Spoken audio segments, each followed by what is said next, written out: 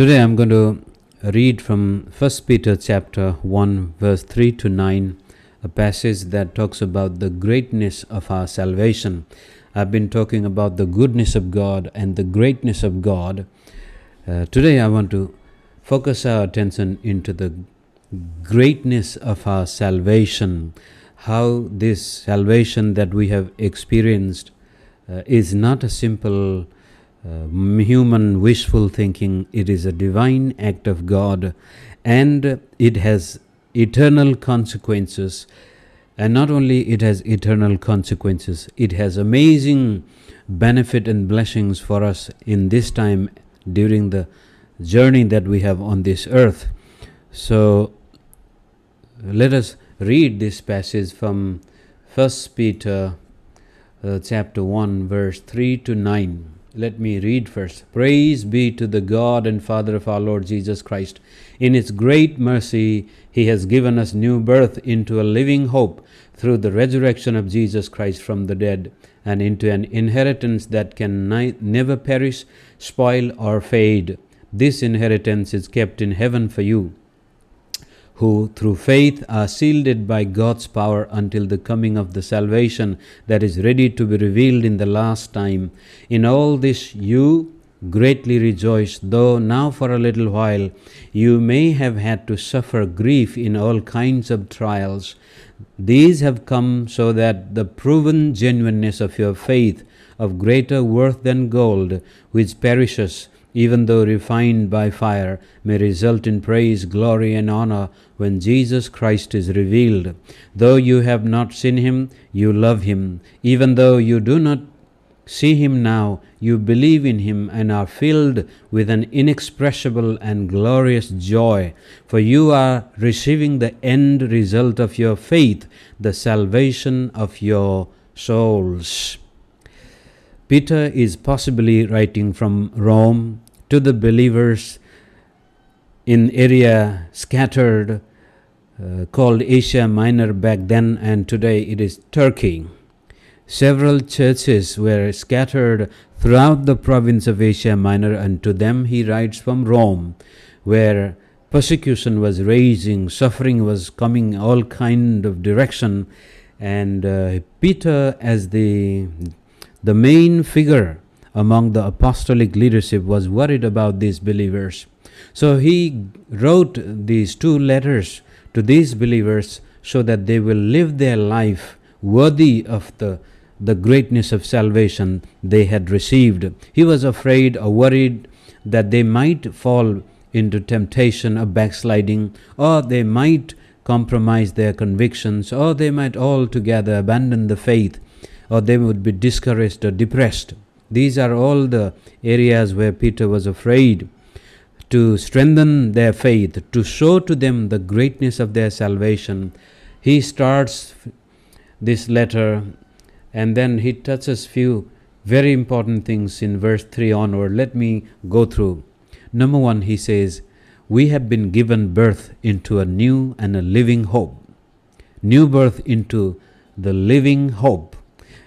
These are scattered Jewish believers and Gentile believers. Some of them must have been scattered from Jerusalem, some of them must have been expelled even from Rome. So they were living in foreign land as sojourner, as people, aliens and strangers. To them, he is telling, You may have come to a stage in life where there seems to be no hope. But I want you to know that you have been given birth into a living hope. And this birth has come by the mercy of God. God loved us so much.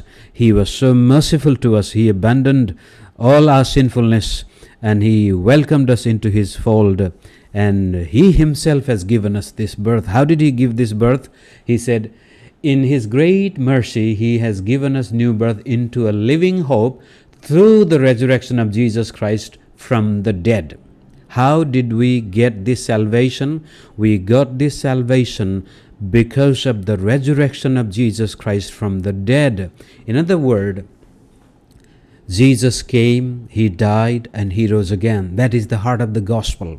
And when these people had heard the gospel, they accepted. And when they accepted the gospel, the, the power of God that resurrected Jesus from the dead is the same power that brought us back into life because we were dead in our sins. Very Clearly, Paul says in many other places that we were dead in our sin. There was nothing we could do to inherit this salvation, but God, in His divine mercy, He exerted the same power uh, that He did for the resurrection of Jesus Christ into resurrecting our dead souls into a living hope. So, this is not uh, man made salvation. This is not our doing. We have not come into salvation by accident or by our own effort. It is the divine hand of God, divine mercy of God, divine grace of God leading and guiding and bringing us at a point where we were able to respond to the gospel. And when we did at that time, then the resurrecting power of God gave us this new life within our hearts and we became new creation. If anyone is in Christ, he is a new creation, says Paul in 2 Corinthians 5.17. So yes, same way Peter says you've been given birth into a living hope through the resurrection of Jesus Christ. And then verse 4 is one more amazing uh, statement said and into not only we have been given birth into a living hope we have also been given birth into an inheritance. And our inheritance is some kind of a blessing that we inherit from our ancestors or father or mother. If you have good parents they will leave some inheritance for their children. You did not earn your parents earned our parents had some property and uh, if they didn't want they can sell it and do it away. Some bad parents will leave debt for their children to pay. But some godly parents will leave an inheritance even though the children might not deserve. In the same way when we were resurrected from the deadness of our soul into the living hope we were also given birth into an inheritance a living inheritance what kind of inheritance? Look at the description.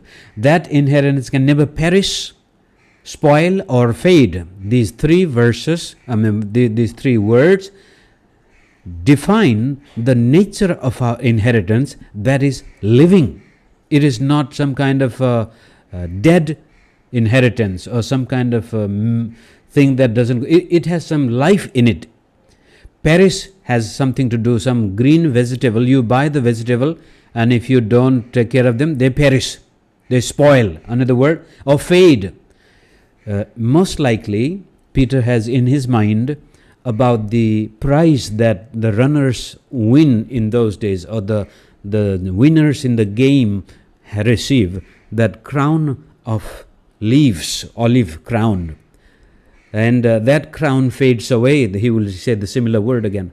But we are given birth into such an inheritance that crown never fades away, that does not get rotten or spoiled.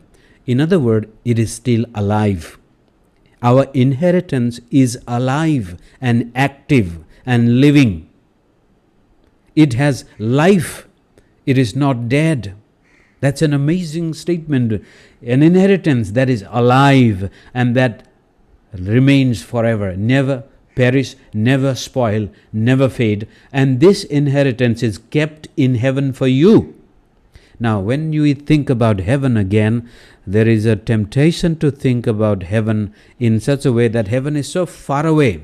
The heaven and earth, heavenly life and our earthly life may appear to be so disconnected that has no relationship with us. Or this is an amazing inheritance, but what can I do? It is not with me at this time, it is kept in heaven. So many times we have believed in such a way, thinking that in this world we have nothing but suffering, but when we go to heaven, we have an amazing inheritance kept. So after we die or Jesus comes, then only we will enjoy this inheritance. That's the common belief we have because according to Greek philosophy and Hindu understanding, heaven and earth are two different places. They can never meet. They have no relationship. But the Bible does not talk about heaven like that. Jesus is with us. Jesus is in us. Jesus is around us. We are clothed with Christ in one way, but at the same time, the Bible says Jesus is at the right hand of the Father in heaven. How can that be? If heaven and earth has no relationship, no correspondence. Heaven is not so far from the earth. The only thing is, heavenly reality is one kind, earthly real- reality is of different kind. Right now, we are worshipping here in our earthly reality, but heaven is right with us at this time in the spiritual reality. So, this inheritance is not some faraway place or after we die. This inheritance is accessible for us right now because heaven is with us. Christ is with us, God is with us, even though with our natural eyes and natural senses we cannot comprehend. One day, when we talk about the second coming of Jesus Christ, we think about Jesus coming from faraway places. The Bible talks about His appearing, His revealing. That means when Jesus comes or His time for the coming comes, He will simply appear Right now, we cannot see, but that time we shall be able to see him. So he is not coming from faraway places. That time, heavenly reality and earthly reality will be completely one. At this time, we have earthly life and we have heavenly life at the same time, but we don't see from our physical senses. So, this inheritance is not something that after we die, this inheritance is for us now. It is still living and active and alive, so very much accessible for us. So, we've been given birth into a living hope. And Peter says to them, Don't lose your hope. Even though you may have lost your country, you may have lost your property, houses, they were expelled from different places, persecuted, harassed, hunted down. Don't lose your hope. And then next chapter he's going to say, You are the royal priest. We may have no king in this earth. The king on this earth may have come against us, but don't lose your hope. You have been given birth into a living hope and an inheritance that is also living. Verse 5 is another powerful statement. He says, Not only are we given birth into a living hope and into a living inheritance, but now we are kept into that living hope and into that inheritance by the power of God. Let me read. Who through faith are shielded by God's power until the coming of the salvation that is ready to be revealed in the last day. Look at the word. Salvation ready to be revealed means the completeness of our salvation that our bodies we will have a resurrected body when jesus appears we will have resurrected bodies and that will be the revelation of the salvation. So, until that day, we are shielded by God's power. We are protected by God's power into the living hope, into the living inheritance. God Himself is keeping us safe. He gave us new birth, and now He is keeping us safe in this world until that day when we shall not need protection anymore because we will be with God and God will be with us. Heaven will not be a faraway reality, heaven will, heaven will be a everyday living reality. So the blessings of God that are kept in heaven according to Ephesians are not some faraway distant place reserved only after death. God has blessed us with every spiritual blessing in heavenly places does not mean those blessings are accessible only after death. They are accessible right now through Christ because we are with Him. He is with us. We are in Him. He is in us. So heaven and earth is meeting together right now in our life. As we come in the church, the church is the meeting point of heaven and earth. And you, when you accept Jesus Christ and you are given birth into a living hope, you become a connecting point of heaven and earth. But when our complete salvation comes, when Jesus comes again, our common language, heaven and earth will not be a different reality, it will be a one reality. So, this is an amazing uh, picture of the greatness of our salvation. Now, the problem comes in verse 6. If we are living in such a heavenly life, if we have been given birth into a living hope and our inheritance is living and active, ever present, we lack nothing. Whatever is needed, God has supplied. It is a living and a fresh. It is never faded and never spoiled and never perishing. Then what shall we do when we suffer? Verse 16. In all this you greatly rejoice, though now for a little while you may have had to suffer grief in all kinds of trial. Up to now, he is talking about heavenly realities, but now he moves down on earth and he says, You may be suffering in all kinds of trials. That means there is no limitations of what kind of trials. We may suffer in many, many different areas. But the reason we do not scum or we do not uh, perish or do not abandon our hope is because God Himself is shielding us. He is keeping us, protecting us. We don't even know sometimes how much God is protecting us. Uh, last night, and the night before, not last night, the, the day before yesterday,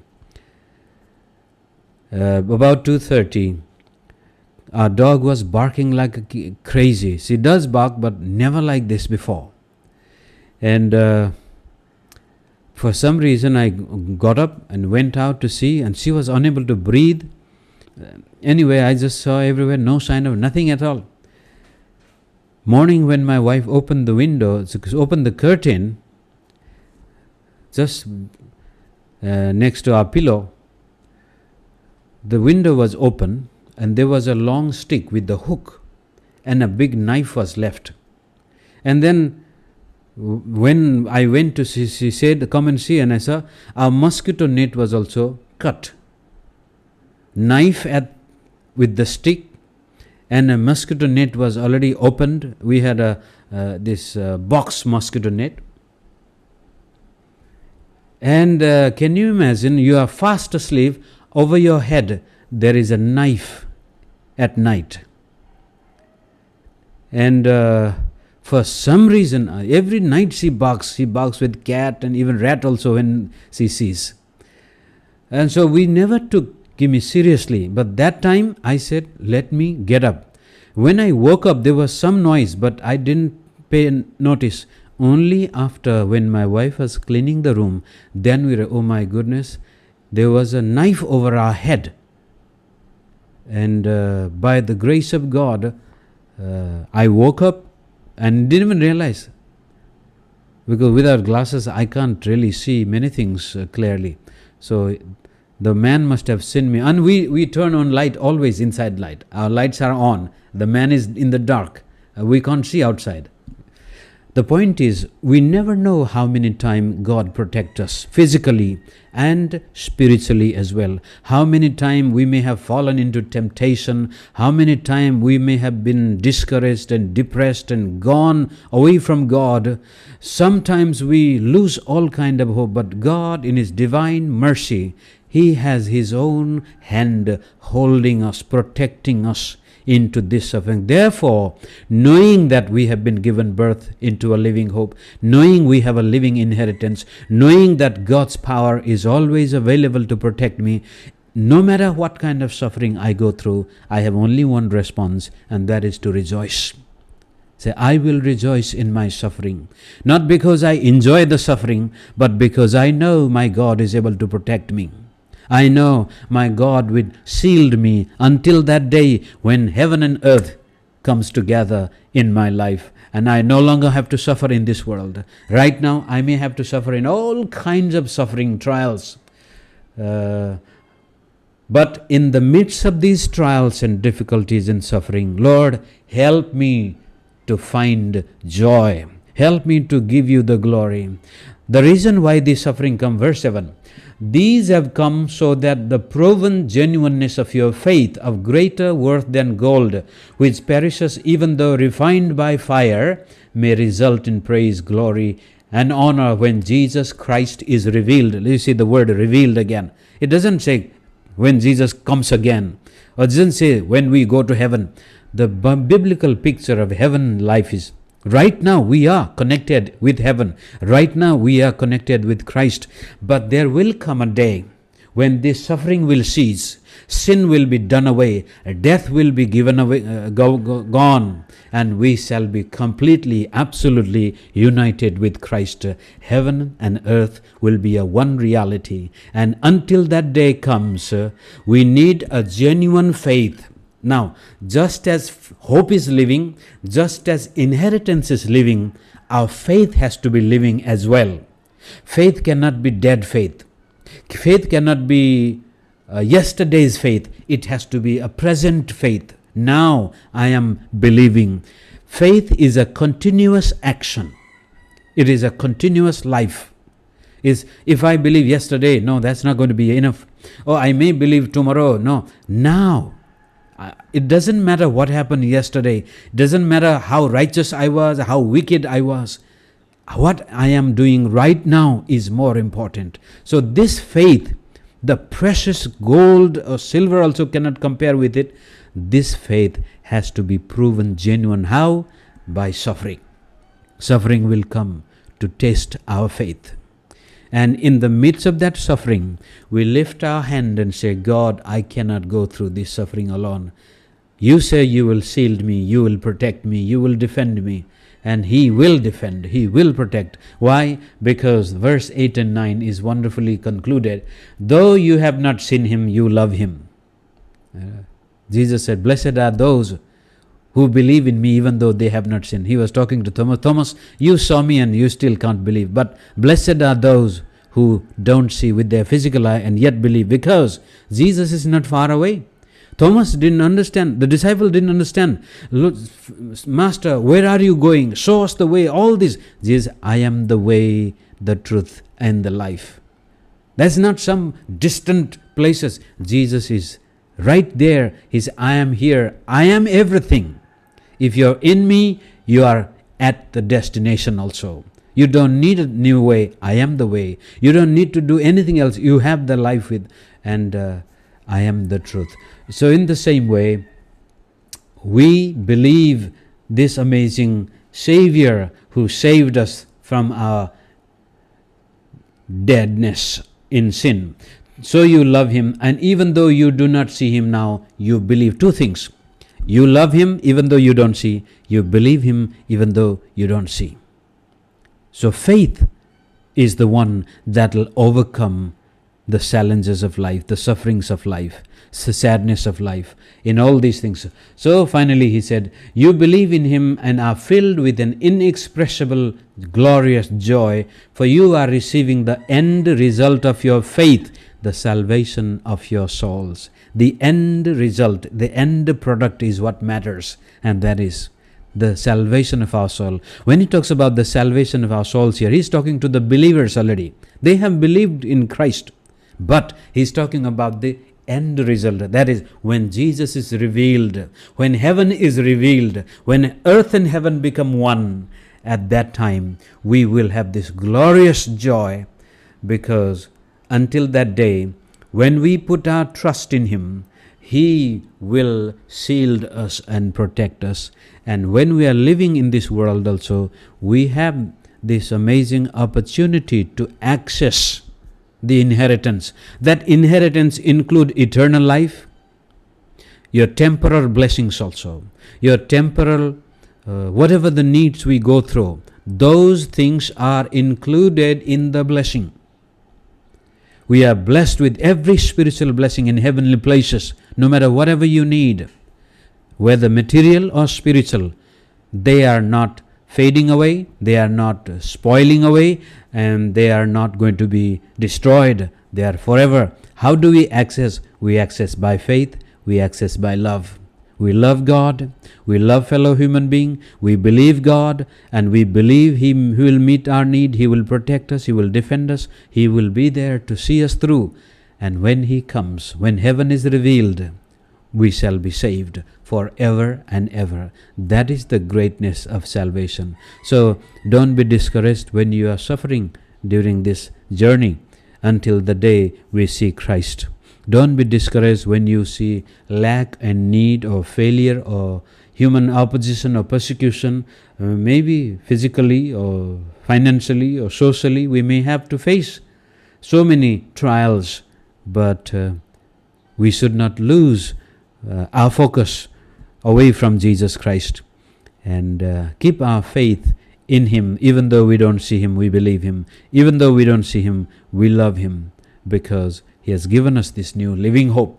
And this hope and inheritance, they are still accessible for us from the earth. So, with that, I'm going to close our message here and uh,